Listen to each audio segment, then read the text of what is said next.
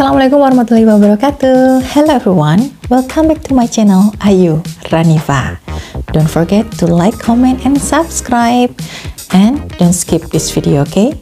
Happy watching!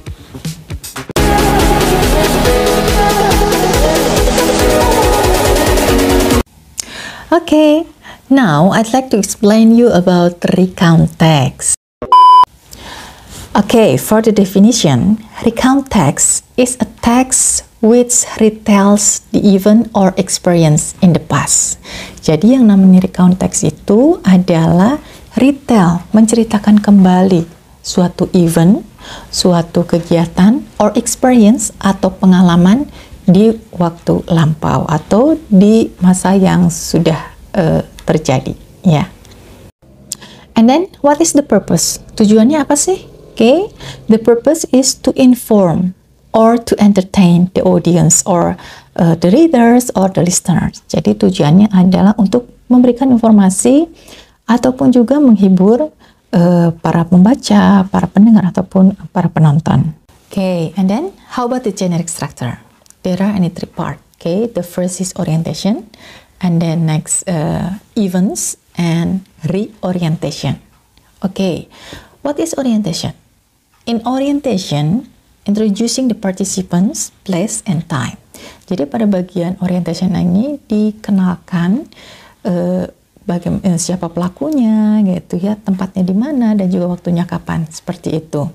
And then next event, event describing series of event that happen in the past. Nah, event ini adalah menceritakan uh, kejadian-kejadian yang terjadi di waktu lampau. And the last one is reorientation. Okay, in this part it is optional. Jadi kalau bagian reorientation ini adalah optional, boleh dicantumkan, boleh juga tidak. Isinya apa sih? Oke, okay.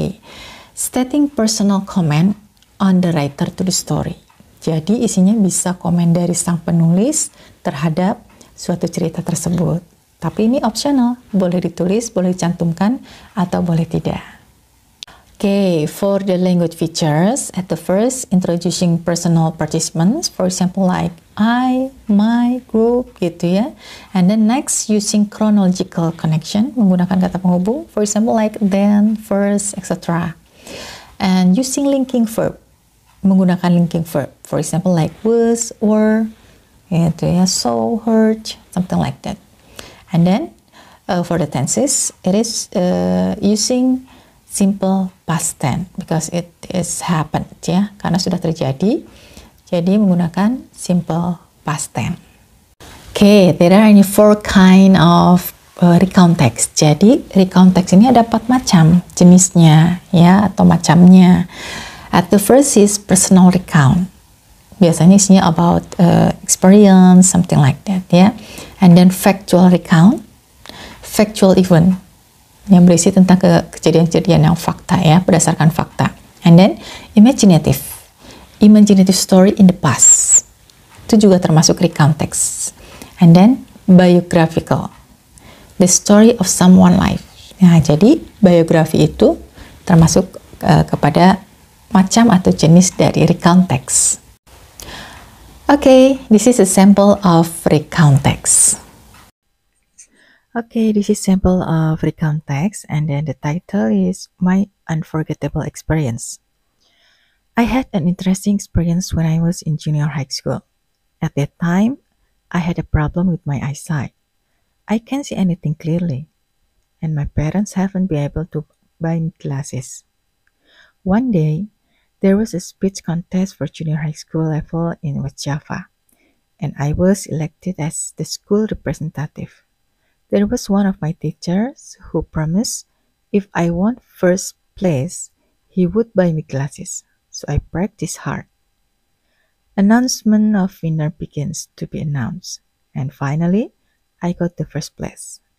I'm so grateful because I can have glasses by myself.